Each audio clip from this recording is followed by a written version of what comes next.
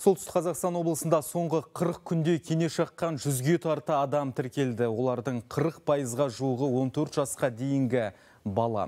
Зиянды жәндіктерді жою мақсатында облыс орталығында 600 гектарға жуық аймақ дезинфекцияланбақ. Бірінші кезекте кенелер тіршілік ететін саябақтар мен жағажайлар қамтылады. Клещи являются кене түрлі жұқпалы ауруларды қоздыруы мүмкін. Ең қауіптісі кене энцефалиті. Оның алдын алудың жолы вакцина. Біздің өңірде екпе эндемиялық аймақ саналатын айыртау ауданының тұрғындарына ғана салынады.